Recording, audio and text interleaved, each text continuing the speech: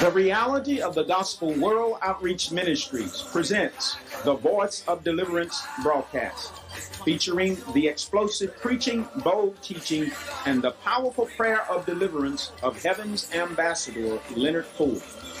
Brother Ford is a minister that does what others don't, and he has a ministry that goes where others won't. He and his wife Jessie travel across America and around the world preaching hope and bringing deliverance. Whether they are in the church, under the gospel tent, or on the mission field, they boldly declare that if you continue in the word, you shall know the truth, and the truth shall make you free. Now I present to you Brother Ford.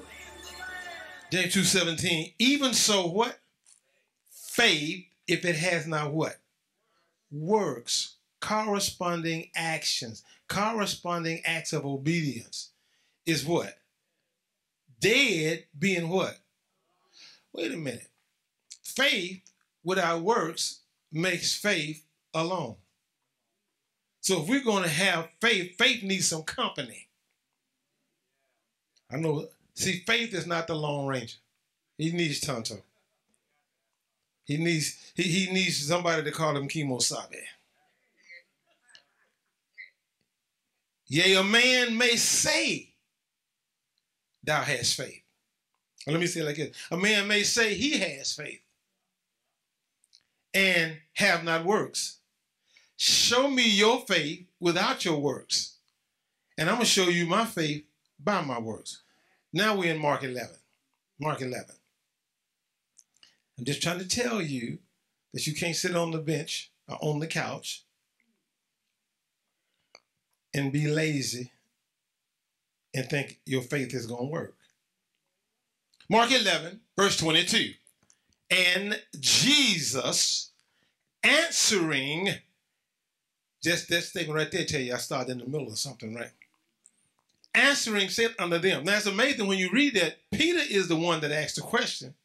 But it doesn't say Jesus answering him. He, he knew all of them wanted to know. Peter was just a spokesman. Jesus answering saith unto them, Have faith in God. That's what I want to talk about tonight. Have faith in God. I done preached all kind of sermons on faith, but I never remember preaching a message on have faith in God. And so I just want to talk about tonight have faith in God. Now I understand that if you look this up in the uh, Adams Clarke particularly, it'll say have the faith of God. But tonight, let's just stay with Jesus. Okay? Let's just have faith in God. And, and some people think that faith, by definition, is the substance of things hoped for and the evidence of things not seen. That's not a definition. You look it up in a dictionary, you won't find that. Okay, so have the substance of things hoped for and the evidence of things not seen in God. You see that don't fit, right? Okay, so Jesus here was coming through Bethany and he saw a fig tree that had leaves on it. And customarily in the Middle East, even though it ain't the season for figs, if there's leaves, there's fruit. So the fig tree basically told Jesus, You can eat here. Now Jesus was hungry. So the tree lied to him. When he went to the tree, there was nothing there. Okay, go, go to verse 13. Go, roll up, roll up, roll up. Here I go already seeing a fig tree afar off, having leaves. So see, he was so far away from it, he couldn't see what was on the tree. He could just see the leaves. So when he went to the tree, because that's a summons. If you see leaves, there's fruit there. And when you, how many know when you're hungry, you want to eat? So watch this now. When he came to it, so you see the tree summons him. The tree said, Come on over here, I'm going to feed you. The tree summons him. When he came to it, he found nothing but leaves, for the time of fig was not yet. Jesus did what? No, no, what did what the scripture say? He answered. Now, now, how dumb would this be if I just walked up to Cinderella and said, uh, "No, I don't think so." She didn't ask me anything, right? So where does her mind go from? No, I don't think so. No, you don't think so. What? What? What you telling me? You don't think so? So he had to have heard something from the tree in order to answer the tree. Do you understand? So the tree was talking. I, you know, you got situations talking to you. You got circumstances talking to you. You need to answer them. Yeah. How am I going to answer? You're going to have faith in God. So he answered the tree. He said, No man eat fruit of the hereafter forever. And his disciples heard it. So when you got real faith, you ain't bashful. You're not ashamed to say, hallelujah. You're not ashamed to answer the situation. So I'm talking about tonight, have faith in God. Have confidence in God. Have full, unqualified, committed trust in God. Because in the day and time that we living in, going back down, we was in verse 22. Jesus answering them. So Peter then came. Well, let's go to verse 20 so we can at least catch the context of that. And in the morning, so he spoke to this tree within 24 hours. In the morning, as they passed by, they saw the fig tree dried up from the roots. That's another point we need to understand. When Jesus is speaking to a situation in your life, he don't speak to the leaves, he don't speak to the limbs, he speaks to the root. Too many of us, amen, are raking leaves and cutting limbs, and the tree's still in the way. He said, Master, behold, look. See, Peter mesmerized, he's shocked. The fig tree which thou cursest, pause. Did we hear Jesus curse the tree? It didn't sound like he said, Tree, I curse you from the root. The word that he spoke, full of faith, saying, No man eat of thee henceforth forever, that wasn't positive. it was so full of faith that it caused that tree to wither from the root. Why? Because what he said had to come to pass because he had faith in God when he said it. He believed when he said it, the tree was going to die from the root. Sometimes we speak the thing and we still see the leaves the next morning. So, mm. Think about it. He spoke to that tree that morning. They went in the city. He come back and now you know he's just like most of us. He a route driver. He walked the same path.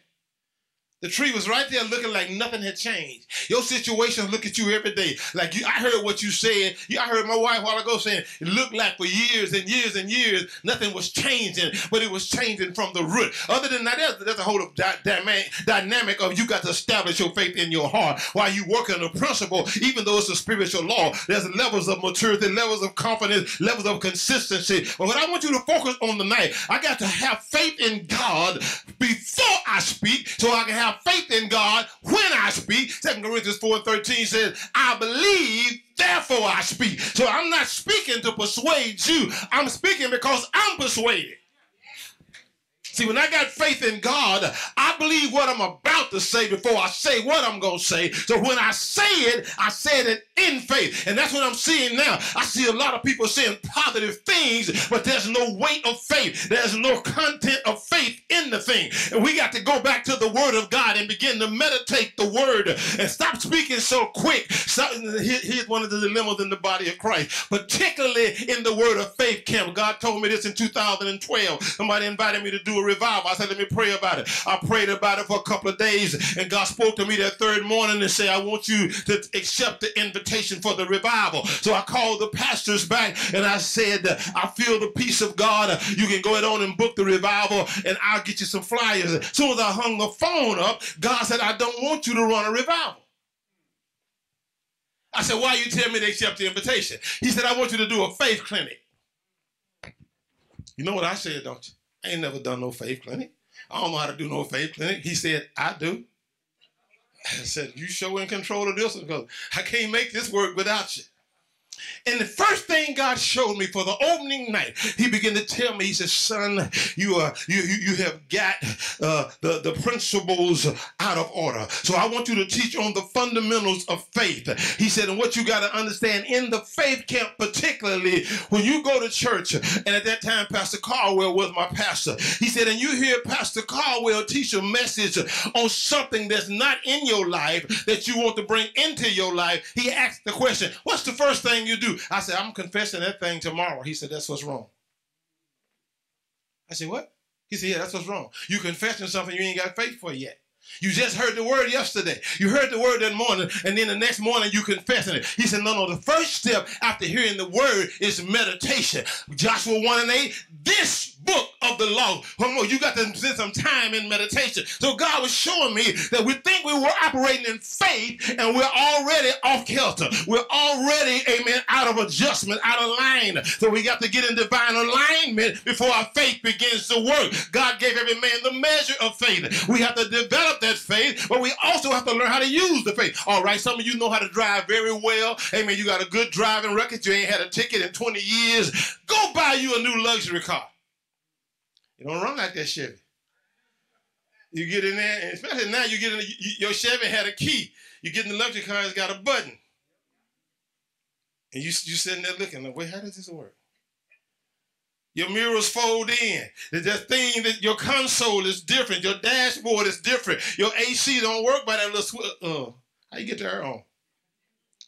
Read the manual. What? Read the manual. That's boring. Sit in the driveway. No, no, no, no. I know what you're gonna do. You're gonna call your grandson. And you're gonna Google. Google. How does a, a, a, no no no no no no. What am I trying to tell you? If you just read the manual, my wife was telling me the other day about one of the relatives. Amen. Been had a nice luxury car for a couple of years and just found out where a compartment for the key was because somebody riding would have told her. Somebody another. If you, you got a manual, it would have told you. See, when I bought my new truck, before I left the lot, I'm on the manual. I got the brother out. Come on out here, salesman. We ain't finna leave yet. Get in here. Program this thing because my, my know my truck got a uh, an app to it. I can start my truck from my phone. I can open my tailgate from my phone. Well, let's find out how this works before I get on the road. And we got, I said, no, no, no. Don't do it. Show me. Get the manual out. Let me follow the direction, see what's going on. So if this ain't working, what's next? That man ain't got time for that. He don't. I didn't know that. He had time for me that day. He took the time for me because I took the time to ask questions. Okay, let me, let me go ahead and get in this. Let me get in this. So Jesus here has spoken faith. He spoke in full-blown confidence with full-blown expectation of what he said come to pass. His disciples heard it, but yet they didn't believe it. They didn't see the inside, the depth of it. They didn't see the inner workings of it. They didn't see the inroads to it. They just heard him talk to a tree. If you hear somebody talking to a tree and you don't understand the principles, what's going through your mind? Don't answer that because you think they're crazy. The boy talking to a tree. You now why you want to make him crazy? You talk to your dishwasher. You talk to your car. You talk to your electric can opener. Now can opener, don't you start no mess. I got two minutes, number 10 cans to open a day, and you know I got arthritis in my left hand. I can't be turning that thing. You got to work. You don't call you crazy. You put your clothes in that washing machine, it fill up, it don't spin. Washing machine, what's wrong? You better spin. You better work. What are you doing? Who taught you to talk to it? It's something in the spirit of man innately knows that he releases faith, he releases authority with his words, and everything he's talking to got ears to hear him. Go back in the book of Genesis. Everything God created, he spoke to it, and everything that's created now, he gave you dominion over it. But I would know your dominion does not work eh, eh, void of your faith, and your faith works through your words, and it's something in your spirit, whether you saved or not. You will speak to a dog that don't belong to you and tell that dog to get out your pathway. Now you know you ain't barking, but you know when I speak, that dog better obey me.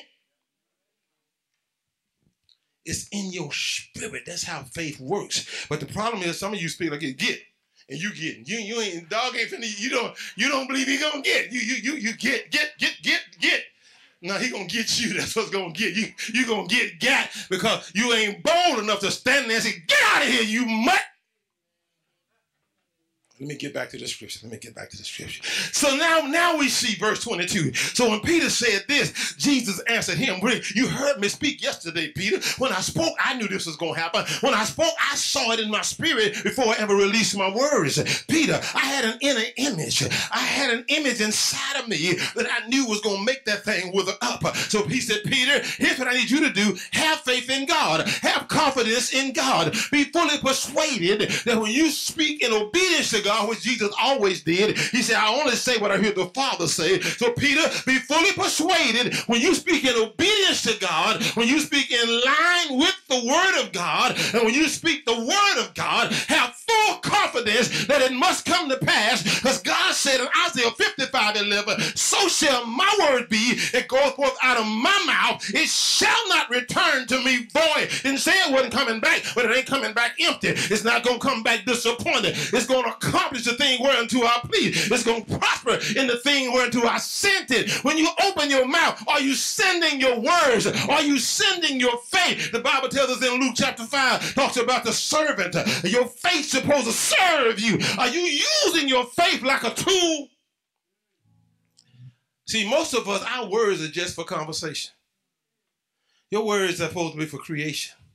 Go back and read the, the, the, the, Genesis account. When you see God making man, I'm talking about the second chapter now, he created him in the first chapter. When God makes man, puts man in his body, you hear no communion between God and man. You don't hear God talking to Adam, and you don't hear Adam talking to God. You see God planting the garden. Now, first thing he did after he made man, God began to demonstrate. Man is watching, observing God. And then, around about verse 18, the next chapter, after God had given man some instructions. Then God start bringing stuff to man. And then God does say, now Adam, the one with the long snout, that's an anteater. Adam, the one with the long neck, that's a giraffe. He brought it to Adam to see what Adam by faith is going to call it. Adam opened his mouth, used his faith and his authority, and named everything on the planet, and God said it was so. We are supposed to be using our faith. And the only reason we, are trying to get God to do everything He created us to do. Have faith in God. Watch this, watch this now. So understand they heard Jesus speak. And then when they saw the results of what he had spoken, they came to him and said, The words you spoke to that tree have come to pass in 24 hours. and It is withered from the root. And Jesus said unto them, Have faith in God, for verily, truly, honestly, straight up, for real, 100. I say unto you that whosoever, that levels the playing field, not the the apostle, not the prophet, not the pastor, not the teacher. Whosoever, let me say it like this, that has faith in God shall say unto this mountain, drop the T, and it becomes personal, his mountain. He looked at a mountain and said, Whosoever that has faith in God and is speaking in line with the word of God, is speaking in obedience to God, is speaking God's word to his mountain. And then watch, watch the, the, the clarifier here. He said, Tell the mountain to be thou removed and be cast into the sea. You didn't just sit there and talk to the mountain. Mountain, you know you're pretty big. Mountain, I ain't never dealt with nothing like you. Mountain, you know, I'm not even sure if I can get around you. But I bet you what? I bet you I can climb you. No, see, you're having a conversation with the mountain. But that's not a faith conversation.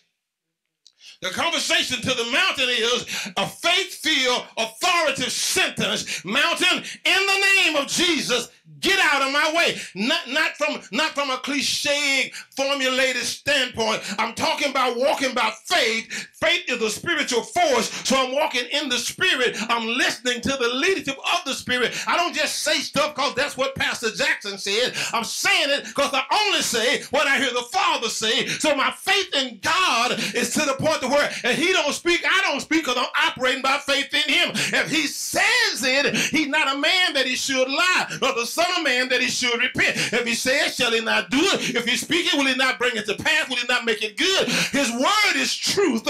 He cannot lie. It's impossible for God to lie. So therefore, once I hear God, who said in Psalms 89, I will not alter the thing that goes forth out of my lip. Once I hear God say something, now I got faith to repeat what he said, knowing he told Jeremiah, Jeremiah 1 and 12, I watch for my word. I watch over my word. I hasten my word to perform it, to bring it to pass. So what I need to operate in faith, I need a word from God. Okay, And watch this now, watch this.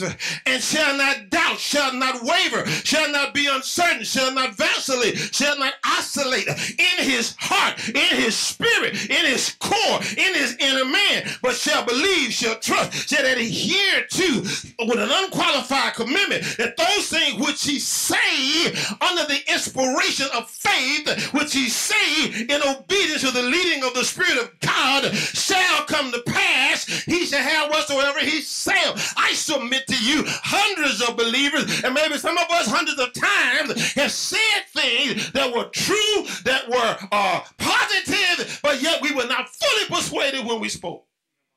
Therefore, we did not get the results. Therefore, we teach erroneous doctrine. Now, you, you better be wise when they come to that faith stuff. Now, that faith stuff will mess you up. No, no, no. That fake stuff will mess you up. Because the just shall live by his faith. Habakkuk said by his faith. Paul told us three times the just shall live by faith. Then Paul told us in the second chapter of Corinthians, the 5 and 7, we walk by faith, not by sight. So faith stuff don't mess you up. Misunderstanding faith will mess you up. They used to sing a song in the Baptist church. Uh, one of Dr. Watson hymns is, uh, Father, I stretch my hand to thee.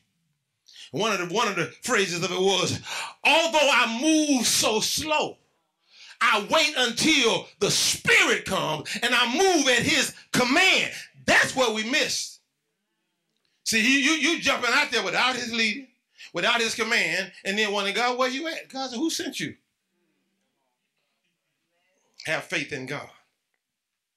Watch the principle now, because they're talking about the fig tree that he cursed, the fig tree that you use your faith-filled words on, the fig tree that you spoke to. Jesus said, have faith in God. Peter is talking about the results of him having spoken, and Jesus answered, have faith in God, for verily I tell you, truly I say unto you, whosoever shall say unto this mountain, you understand the man that saw a tree. Now, when you start talking about a fig tree in the Middle East, amen, he's talking about a tree. He ain't talking about some little sapling here. And he said, I've seen it withered up from the root. Jesus' answer was, Have faith in God, for verily I say unto you, that whosoever shall say, wait a minute, my faith in God is connected to what I say. So what I say must stay connected to faith in God. So what I say should not be uttered without confidence in God. now watch verse 24. He, he said, Whatever he saith shall he shall have whatever he saith. Therefore I say. Wait, wait a minute. Let's read verse 23 again. Verily I say unto you, what things soever you say, whosoever shall say unto this mountain, be thou removed, be thou cast into the sea, and shall not doubt in his heart, but shall believe that those things which he what? Us, brother continues habitually. See, sometimes here's what happens. Here's what happens. You in church, or you in your time alone with God alone, and the anointing of God comes on you, and the Holy Ghost gives you utterance, and you make some bold, anointed, faith-filled declaration under that anointing. And then about 45 minutes later, after you had your salad and your sandwich, and your mind and got relaxed and got off of God, all of a sudden the situation pops up, and you start, Lord, I thought you had took care of that. What? Wait, wait, wait, wait. You done prayed one thing, now you're saying another. See, what are you what you're saying is overthrowing what you've been praying. You, your praying and your saying got to be synchronized. They got to stay lined up. If you prayed it, then if whatever you pray should be what you say. Don't you let your saying undermine your praying, and don't let your praying undermine your saying. You made a confession under the anointing, then you go pray, Lord, please, Jesus. No, no, no, no. See, you, it ain't time for you to talk yet you need to go back to the meditation table. Because until you get faith in God, zip it. Your word, listen, your thoughts don't do near what your words do. How do I know? Jesus said, take no thought how? Saying. So if I don't, if I don't speak the thought, it dies unborn. But once I say it out my mouth, see, my mouth reveals my will. God's mouth reveals his will, right? The hand of God perform what the mouth of God says. Where angels hearken to the voice of the word of God. So when I open my mouth and I say things out of my emotions, I say things out of my desperation, I say things when I'm under pressure and I'm afraid, then all of a sudden, if, if I'm talking contrary to the word, my angels have no choice. They must stand down because they cannot operate opposite the word of God. What happens when my angels stand down? Demons step up and go to work on the words out my mouth. I'm saved, sanctified, filled with the Holy Ghost, that with a burning fire. Love Jesus, yes, I do. Don't dip, smoke, or chew. Don't hang with you if you do. But I'm finna be defeated because I'm not in faith and I'm saying words that are activating demons in my life. I'm giving demons liberty. I'm giving place to the devil with my word. That's what David said. I think it was Psalm 39. He said, While the wicked is before me, I'm going to keep my mouth. See, we just think about wicked people. There are wicked spirits that need your words. Why do you think the devil is trying to manipulate you to talk negative, talk wrong? Because until you do, he can't do nothing. He's bound or he's loose by your words. Death and life is in the power of your tongue, and you that love it shall eat the fruit thereof. And we understand that my lips got to be lips of faith. My tongue's got to be a tongue of faith. My spirit has got to be a spirit of faith. And I got to get the word of God in me. I got to meditate the word of God so that when I open my mouth, I open my mouth with a consciousness that I'm about to release life or death. I'm about to release victory or bondage. I'm about to release victory or defeat out of my mouth. The devil cannot defeat me without my words because listen, my quality of life in the kingdom of God is conceived by my thoughts. That's why I meditate upon the word of God. It is confirmed by my words. That's why I meditate before I speak. I think before I speak. Then it's going to be conceived. It's going to be conceived by my choices. What I think and say determine what I choose. But then it's going to be constructed by my daily activity. Look at what you're doing every day. If you want to know why, roll back to what you've been saying and thinking. Okay. Now we're in verse 24. Therefore, therefore is a conjunction. Now I understand. Now listen, I understand some of you from the Word of Faith camp, and you you have heard that. Well, it's three times more. The word "say" is in that verse three times more than the word "believe." Okay, with tonight, do me do do me the service of skipping that, and jump from verse twenty-two to the end of verse twenty-three. Have faith in God, then you get what you say. Because if you say it a thousand times with no faith in God, you get nothing. So just because you said 355,000 times don't mean it's going to manifest. And you know what you're going to say? Now I confess that 355,000 times. Ain't nothing. I ain't saying that mess no more. It never was mess. You just messed it up. Okay, so now, Jesus lays down a principle. Whosoever shall say to this mountain, whoever's got faith in God, their heart is a heart filled with faith. He believe what he said. You know, a lot of folks don't believe what they say when they say it. You ever talk to somebody and they tell you something three days later? Well, I ain't believing no way. What you waste my time for? You didn't believe in no way. Well, I didn't. I really never didn't think it was gonna happen. why did you bother me? Tell me, let's agree in prayer, and you wasn't even agreeing. But Jesus lays down a principle that when a man has faith in God, believes in his heart that what he says should come to pass, he should have whatsoever he habitually says, right? Therefore I say. Because I understand this principle, now I'm about to talk. I'm not talking foolish. I'm not talking flippant because I understand this. Therefore, I say. Encouraged through the uncompromising message that you heard today. If you would like to have this message in its entirety, send $8 for compact disc or $20 for video to the Reality of the Gospel Ministries Incorporated, P.O. Box 164091, Little Rock, Arkansas 72216. If you would like to become a partner with this ministry, you may do so by joining the Ally 200 Club at $25 a month, or you may become a Truth Ally for $10 or more each month. Send your offerings to the Reality of the Gospel Ministries Incorporated, P.O. Box 164091, Little Rock, Arkansas 72216. If you continue in God's Word, you shall know the truth, and the truth shall make you free.